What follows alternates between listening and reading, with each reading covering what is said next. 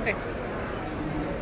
Is Mark Mason with USA Drone Port uh, in Paris, France. Uh, Paris Air Show, I have friend with me and also someone who's helped us out a lot, Mr. Ditto. Uh, he's the director of KAIC, and I'll let him tell you a little bit about what the state of Kentucky, what we're doing here. This is the first time that Kentucky has had a statewide booth at the Paris Air Show. We have seven companies that are exhibiting with us, one of them being the USA Drone Port from Hazard, Kentucky. Uh, but we have a lot of different companies here, a wide variety from sheet metal fabricators to regional airports to um, other component suppliers to communication companies, and it's just been a great time for Kentucky to promote the aerospace industry that we have within our state. Kentucky's number one export is aerospace and defense products. We're number two in the entire country in exporting aerospace and defense products. It's a growing industry and it's quickly becoming one of Kentucky's key economic drivers.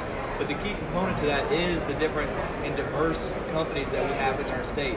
Not only do we have manufacturers, but we have our universities helping improve and grow our workforce.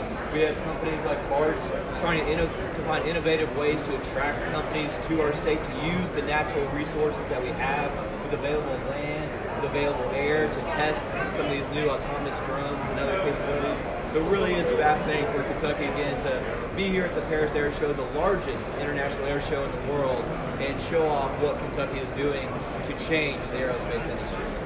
Yeah, it's an honor for us to be here. We're to be a part of it. We've had a lot of very interesting people uh, with a lot of uh, a lot of prayers, a lot of work. Hopefully, we can reach some people in our region uh, that will want to test research and hopefully land in our area and stay. Uh, we found out through our conference just a few months ago that uh, people love the hospitality. The place is a wonderful place to, to visit, but we think it's a wonderful place to set up and work. So uh, keep us in mind, USA Drone Port.